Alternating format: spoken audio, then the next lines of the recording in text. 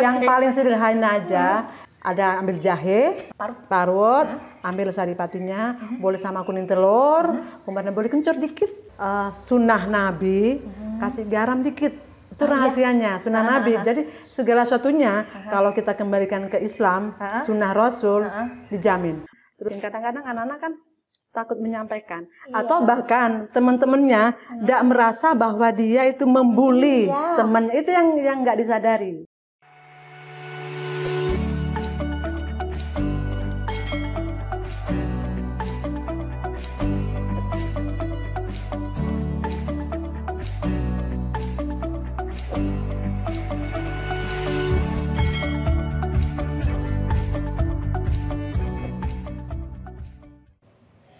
Assalamualaikum sahabat kawan. Wah. Waalaikumsalam warahmatullahi wabarakatuh. Hari ini kita di Nompang Podcast lagi dan maaf ya, aku ambil alih lagi kontennya Kavan hari ini. Jadi hari ini Farida itu hmm, berkunjung bertamu, bertamu sekalian nge-podcast doang. Dan barengan sama Farida udah ada. Nama bekennya itu kan ini udah akrab nih udah akrab. Jadi aku panggil aja langsung ada Bu Yaya. Wah biasa ka- kalau nama tadi beliau namanya nggak panjang nggak panjang sahabat kafan. Cuman satu kata aja siapa bu? Hidayah. tuh kan? Hmm, tapi nama bekennya nama kerennya dikenalnya sama temen sahabat sejawat kerabat itu panggilnya kak Yaya begitu ya kan Iya, benar. Hmm. Ini nama yang sedikit itu berhubungan dengan marganya beliau. Beliau kan marganya Arab nih. Jadi biasanya kalau Arab itu katanya memang satu suku kata aja, gitu kan ya kak? Mm. Iya kan? Filosofinya apa tuh? Praktis, mudah diingat, dan nggak ribet gitu aja. Praktis, mudah diingat, nggak ribet, artinya bagus. Eh, ya kan? Pasti. nah, beliau merupakan salah satu kepala sekolah di Kabupaten Sumeneb, kepala sekolah SDN Terbang dua. Oh, SDN Terbang 2. Oke, itu. Kalau misalnya kamu jalan-jalan ke arah barat kota Sumeneb, itu sahabat, kamu bakalan ketemu sama SD itu ada di utara jalan gitu. Nah, beliau tuh bisa ketemu di sana. Kalau jam kerja, jam sekolah gitu. Sekarang kan sore-sore. Jadi ketemu sama Farida di rumah gitu. Satu lagi, di Torbang itu ada campur. Nah, itu dia. Pernah? Ih, kalau kayak nggak usah ditanya lagi ya. ya. Sarapannya campur. Enggak, pokoknya nyebut ke warung sebelah itu, nyebut nama kayak tiga kali gratis dah. Mau juga, itu bisa dicoba, bisa dicoba Boleh tuh dicoba. besok. Bisa, bisa dicoba banget gitu. Nah, tadi udah dapat bocoran juga Farida, katanya kalau hmm, marganya Arab itu biasanya dominan mereka tuh berdagang, usaha gitu kan. Nah, terus kayaknya kok di pendidikan jadi kepala sekolah lagi. Ya kebetulan aja ya. Biasanya, biasanya udah memang dari nenek moyang kemarin ke, ke Indonesia itu umumnya berdagang selain siar, siar Islam. Tentu ada yang nyeleneh, yang yang seperti itu. Jadi kebetulan aja. Eh, kayak itu bisa di menjadi PNS bahkan menjadi guru sekarang kepala sekolah gitu Oh, jadi yang nyeleneh, jadi nggak apa-apa. Tapi tentu aja bisnis-bisnis di luar jalan dong. Harus. Usaha masih ada Harus, dong, gitu kan. harus. Harus, sahabat. Bisnisnya pasti juga merupakan hal yang keren. Eh, katanya kalau uh, marga Arab itu juga identik sama jamu, ya kan? banyak sih banyak salah satunya jamu Ah, umumnya kan kalau teman-teman siapa pun tuh kalau udah Arab wah jamunya Jamu. jamunya mesti kalau ketemu teman-teman mbak jamu kak jamu gitu aja. Kayak produksi juga nggak? Masuk dalam lini bisnisnya juga nggak? Uh, jamu. iya sih uh, sebenarnya keluarga keluarga besar. Ada ada yang terjun di situ. Saya cuma mungkin teman-teman ada yang butuh teman-teman ada usaha- apa kenal-kenalan itu tinggal order aja gitu. Bantu bantu promo aja promosikan. Adik sebenarnya adik sepupu gitu banyak lah umumnya rumahan Tapi pengetahuan soal jamu ya nggak usah diragukan lagi. Yang paling Farida penasaran tuh dari dulu bedanya jamu eh, tradisional ya, yang diproduksi oleh eh, marga Arab sama yang lain tuh apa sih kak? Sebenarnya eh, bahan bakunya, bahan dasarnya sama. Indonesia justru terkenal karena rempahnya kan. Aha. Arab enggak. Iya kan? iya, Nah, benar, jadi benar, benar. cuma mungkin di mix bagaimana uh, tradisional Indonesia Mhm. juga diversikan dengan jamu Arab. Salah satu kuncinya kalau jamu-jamu Arab atau makanan-makanan khas Arab itu mesti ada satu biasanya kapulaga. Oh. Gitu biasanya sih gitu. Iya. Jadi makanan, terus minuman. Jadi uh, jamu anu apa uh, kopi Arab mesti ada jahenya, ada kapulaganya. Terus makanan seperti misalnya brota, terus roti Mariam itu kan karena ada kapulaganya, makanya bau khasnya. Uh, orang-orang dari umroh, dari haji Yap. nggak lepas dari itu, ya kan? Ah, khas banget tuh Ya, wanginya. kecil tapi harum dan Khas menghangatkan. Iya bener. Jadi itu yang membedakan tuh. Jadi udah bisa ya, bisa kita bedakan jamu jamu tradisional yang lain dengan jamu yang khas Arab. Tiap hari minum jamu. Ya nggak tiap hari, masa Oh, tiap hari. enggak, ya. Sesekali aja, rutin. Yang penting jamu tuh rutin, Heeh. kemudian baru terasa khasiatnya. Kan di luar sana maunya minum jamu yang instan terasa, enggak. Iya. Jamu itu sama seperti makanan, makanan bergizi kan ketika kita rutin, hasilnya pasti jangka panjang gitu. Oh, berarti meskipun nggak minum tiap uh, tiap hari itu bisa awet muda kayak kayak ya kan? Nanti aku Sip. ikutin. Wah, edisi khusus kalau itu rahasia soalnya. Takut ada yang dengar, nggak boleh rahasia. Oke, oke, oke. Mm. Ini yang nggak rahasia aja deh kita bagikan sama sahabat Kak Afan. Siap. Eh, res- ada nggak satu resep yang bisa kita bikin mudah gitu? Kita bikinnya mudah di rumah. Kita bikin sendiri nggak usah beli gitu kak. Oh, gitu kan ya. nggak ketemu sama kayak tiap hari gitu. Dan itu untuk kesehatan kita yang nggak harus kita minum tiap hari itu. Ya. Eh, gini ya, yang yang salah kaprah itu teman-teman di luar sana itu bahwa ketika minum jamu itu memang menyehatkan. Bahkan bukan mungkin maaf ya ini dengan jamu-jamu kuat Iya. gitu. Sebenarnya eh, nggak harus itu. Ketika kita rutin istiqomah lah dalam Islam. Iya kan, Iya, iya. istiqomah. Jadi jangka tertentu misalnya seminggu sekali kita minum apa herbal dan semacam itu kan sama sebenarnya herbal itu kan dengan jamu itu. Kita rutin jadi terbiasa udah puluhan tahun terasa ketika kita usia 50 sehat. Terus kulit kita bagus, mungkin tubuh kita masih kelihatan muda, terus masih energi gitu. Oke kak, apa aja yang harus Farida racik di rumah? Sama sahabat Kak juga kan mau ngeracik sendiri Ah, kan? gini aja ya, gini aja. Yang paling sederhana aja, eh, kita itu kalau mau teman-teman di luar sana ya, eh, ada ambil jahe, Oh jahe. Hmm, jahe terserah dah, paling satu jari atau gimana kita Parut. parut, ambil saripatinya, boleh sama kuning telur, kemudian boleh kencur dikit aja. Diparut juga di eh, kuning telur kan udah dibuang putihnya tuh, tapi jangan harus telur kampung, yang ori ori telurnya. Itu kuncinya, satu kuncinya harus ori, kemudian ada apa albumennya itu ya harus dibuang. Nah itu kita buka, kita buang kulit apa putih telurnya, kita peras atau disaring dulu nggak apa-apa, sama kencur dikit. Eh, sunnah Nabi kasih garam dikit itu rahasianya sunnah Nabi. jadi segala sesuatunya kalau kita kembalikan ke Islam sunnah Rasul dijamin pasti menyehatkan. Iya. tinggal udah itu itu aja dasar itu ya. Tinggal kemudian kita maunya sih kasih madu. Kan dah rasanya nggak seperti jamu tapi itu menyehatkan jadi itu aja cukup udah. Jadi itu udah dasar jahe itu dasar semua jamu yang ada. Oke, jadi kayak Limpang kan kan sebenarnya limpang ada kan? eh, sehatnya itu berarti sehat secara jasmani. Jadi untuk aku nggak mau bilang semua jenis penyakit sih sahabat, tapi kalau kamu mau sehat ya itu gitu. Iya. Kuncinya kan itu. Jadi semuanya eh, jamu apa aja pasti jahe. Jahe. Karena jahe itu kan menghangatkan. Menghangatkan kan kemudian merencarkan peredaran darah. Itu aja udah cukup. Satu kunci itu udah udah udah. Jadi kan ringan-ringan aja, nggak terasa jamu, tapi nanti tapi kadang-kadang teman-teman lu ya aku minum dua kali udah mau hasil yang maksimal nggak mungkin. Apa aja perlu istiqomah bertahun-tahun.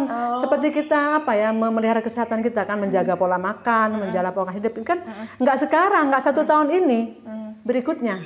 Itu yang yang harus ini ya eh, di luar sana tuh yang yang salah pemahamannya gitu. Oh, continue, bukan sekali kamu minta sehat ya. istiqomah balik lainnya tuh. Benar benar benar benar. Dari jamu ke dunia pendidikan. Sip. Oke, dari bisnis ke dunia pendidikan. Nah, itu. keluarga kan keluarga besar kan pasti bisnis gitu ya. Iya. Nah, itu awalnya dari dari mana dan seperti apa sih ceritanya sih, Kak? Enggak, eh, mungkin kalau tadi ditarik aja ke belakang itu ya, bahwa se- semuanya itu adalah takdir Allah gitu aja. Jadi eh, meskipun bukan pilihan kita, tetapi ketika takdir Allah pasti tergerak hati kita, otomatis itu. Sama juga, umumnya kan orang Arab tuh biasanya udah muamalah semuanya, berdagang semuanya. Iya. Tapi ada satu dua. Sama ketika orang Cina misalnya kan, tapi ada orang Cina juga yang PNS, yang eh, seperti itu aja. Hmm, Nah, kalau proses pendidikannya Kak Yaya tuh hingga membawa eh, ke karirnya Kak Yaya sekarang jadi kepala sekolah itu seperti apa? Eh, nggak ada yang istimewa ya cuma ya biasa sih sekolah eh, di sekolah dulu SPG Nah, sekarang udah nggak zamannya lagi. Itu aja. Jadi otomatis kalau sudah masuk di SPG mesti udah dipersiapkan untuk jadi guru. Akhirnya SPG kan setara dengan SMA akhirnya eh, nggak ada. Sulit kalau S1 itu kan ya. Akhirnya terus melanjutkan kuliah ke S1 kemudian lanjut ke S2 sampai jenjang-jenjang dari mulai guru kemudian kepala sekolah dan insya Allah nanti ke pengawas gitu. Wah, iya pengawas semuda ini, ya ini berkat jamunya juga. Nah itu dia rahasianya. Pokoknya jangan bilang-bilang ke Afan ya. Heeh, rahasia, rahasia kita berdua. Iya benar benar benar benar. Kak mengabdikan diri di dunia pendidikan itu sudah sejak kapan? Artinya mengajar, kemudian jadi kepala sekolah itu udah sejak kapan sih kak? Udah sejak 88 sebenarnya sih eh, dari mulai lulus sekolah SPG kemudian sampai saat ini. Sebenarnya eh, nggak beda jauh ya guru dengan ustazah. Cuma bedanya ketika seorang ustazah itu kan menyampaikan satu ayat. Iya. Heeh. Kalau guru menyampaikan materi pelajaran.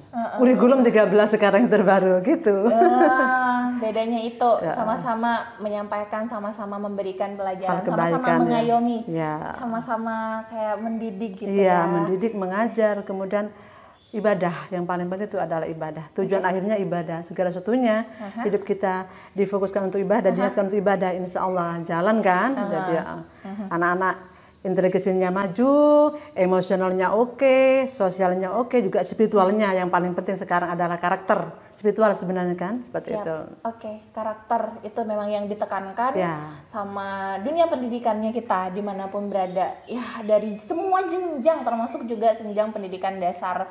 Nah tantangannya eh, kayak ya dalam dunia pendidikan hingga saat ini yang terus dibenahi. Kalau kemarin-kemarin sih banyak eh, pola-pola pendidikan itu ya, termasuk yang terakhir PAIKEM, bahwa M-nya itu menyenangkan. Yes. Eh, isu yang terbaru sekarang, student well-being gitu. Oh. Jadi student well-being itu sebenarnya menyenangkan juga, cuma bahasa keren, kekinian aja, nggak beda jauh. Maunya tujuannya nggak beda jauh, gitu aja. student well-being yang sekarang teranyar, terhangat sekarang, terpopuler. Ah, gimana menerapkan itu di sekolah caranya? Eh, kal beda ya. Jadi di SD, SMP sama SMA tentu beda. Bagaimana membuat anak menyenangkan di sekolah. Jadi kemarin eh, kayak tuh ketemu sama Kak Afan, abinya Gi ya, ketemu. Oh, Mbak ya ya, cetar membana gitu.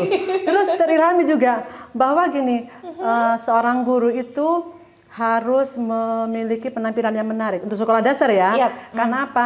Anak SD itu lebih suka guru yang menarik, yang cantik, yang bersih, yang rapi daripada seorang guru yang dekil tapi kompetensinya bagus. Dia bisa memahami. Jadi untuk anak SD yang penting melihat gurunya menyenangkan, dia pasti akan suka ke sekolah. Suka bertemu gurunya, suka bertemu di kelas gitu. Beda ketika SMA. Ke SMA itu kan oh kalau ini guru ini Pintar. pintar ngajar, seperti ini materinya bagus bla bla bla. Itu yang perlu ditekankan gitu aja. Oke, berarti instruksi itu udah ke semua guru Ya. Udah ditekankan ya? Harus. ke sekolah harus mandi, rambut harus rapi. Terutama gurunya. Iya. Kalau gurunya udah tidak menarik, anak-anak malas sudah.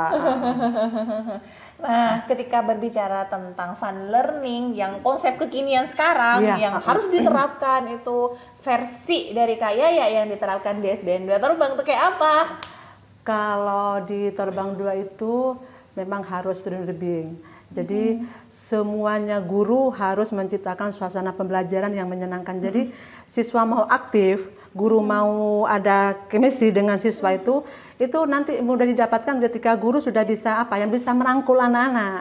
Jadi karakteristik anak-anak sudah di- dikuasai sehingga anak-anak kan nggak mungkin sama. Eh, dia itu unik loh, Iya. beda dengan SMA. Jadi oh anak ini anak ini beda. Jadi gimana guru itu? Pertama tuh guru harus bisa merangkul anak, bisa membahagiakan anak, bisa menciptakan pembelajaran yang menyenangkan sehingga guru itu tiap hari kan dirindukan sama anak-anak. Oh ya, besok Senin. Ketika Minggu dia nggak ketemu sama gurunya, waduh kapan ya? Oh Senin. Oh besok kita ketemu sama guru. Jadi kan otomatis sudah punya perasaan senang, sudah punya perasaan bahagia ketemu sama guru, ketemu sama teman-teman.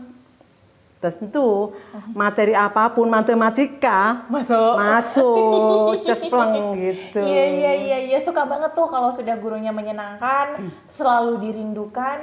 Kayak belajar itu nggak bakalan kerasa meskipun ada di Iya, sekolah. malah gitu. suka anak-anak nggak mau pulang. iya. Nah guru-guru, ih kayak ngajar juga nggak sih? Sambil lalu ngajar nggak sih? Pasti kepala sekolah itu kan harus siap, siap Oke. siaga. Jadi tidak hanya suami dan ibu bidan aja.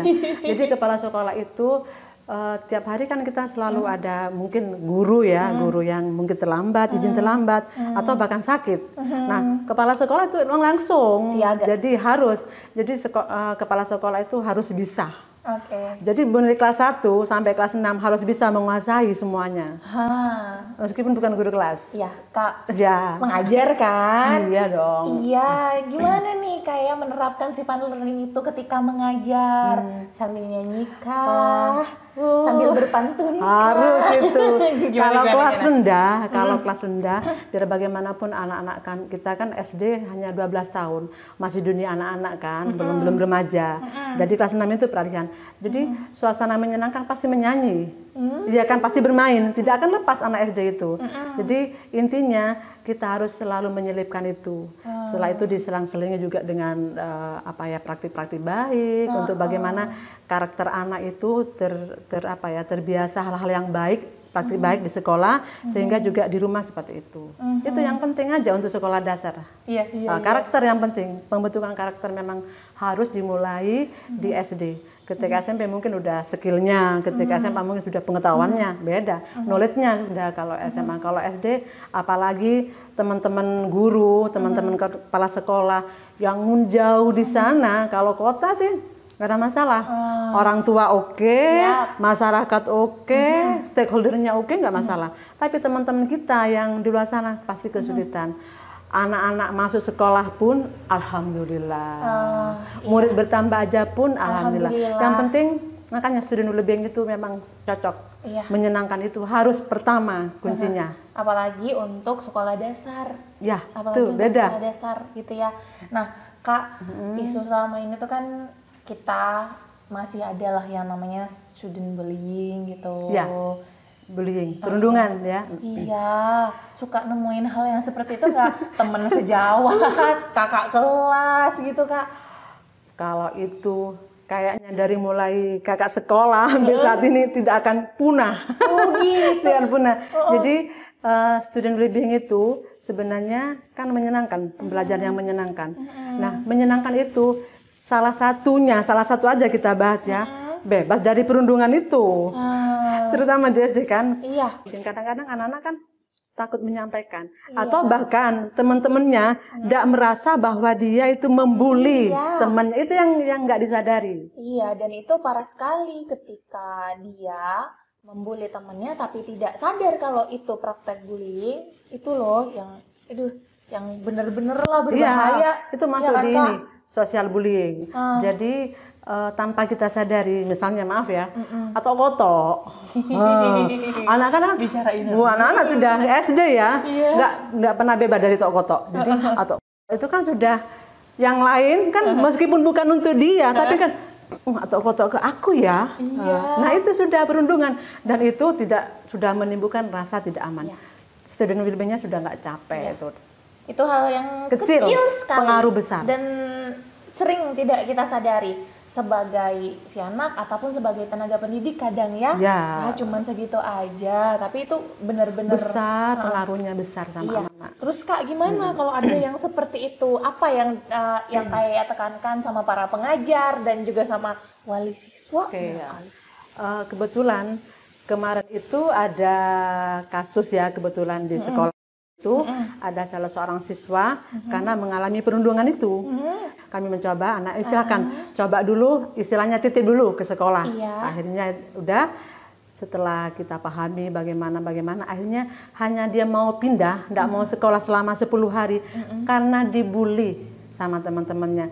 Hal yang kecil, kenapa? Hanya karena dia seorang yatim.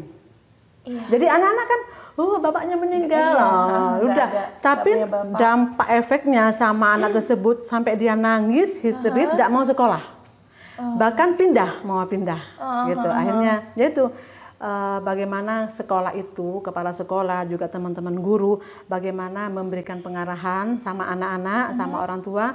eh, perundungan itu apa sebenarnya? Kadang-kadang tanpa sadari orang tua tidak sadar, anak-anak juga tidak sadar.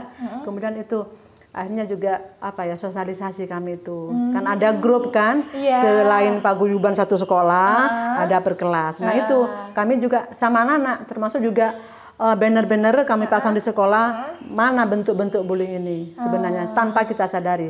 Termasuk maaf rambut keriting. Iya. kadang-kadang anak-anak misalnya maaf orang tuanya tuh misalnya ya pincang. Tiba-tiba seorang anak pura-pura pincang Oh, iya. padahal kan nggak ada yang pincang teman-temannya tapi orang tuanya kira-kira anak tersebut merasa Merasa- tertekan apa enggak Pasti. menyenangkan apa tidak Tidak. tidak. Nah itu yang yang sering kita abaikan. Mhm. Nah alhamdulillah di SD Terbang 2 itu kami selalu sosialisasi seperti itu. Kami memberi pemahaman kepada anak-anak juga Mhm. dari dampak psikologis, juga eh, apa ya secara agamis. Gitu Oh, aja. oke. Berarti ada sudah penyelesaian-penyelesaian yang Hanya alhamdulillah Iya, sudah tahu anak-anak sudah cukup alhamdulillah. Iya, iya, iya, iya. Kak, dengan fun learning yang diterapkan di sekolah itu, Mhm. orang tua responnya gimana? Eh, yang jelas ada kebetulan kakak kan baru pindah mutasi kan dari dua Iya. tahun Nah, Heeh, akhirnya eh, jadi alhamdulillah ke selama dua tahun ini ada ada kerjasama ada silaturahmi ada hal-hal yang menyenangkan itu bersama wali murid. Dan kami selalu mengadakan pertemuan-pertemuan selain juga eh, apa ya mengadakan konsultasi. Jadi ketika anak bermasalah dikit kami panggil orang tuanya. Kemudian ada guru guru agama kami sampaikan apa terus guru kelas udah gitu aja. Jadi eh, orang tua juga terbuka. Karena kadang kemarin ada tiga empat orang wali murid terus wali hanya karena anaknya dibully. Satu orang anak.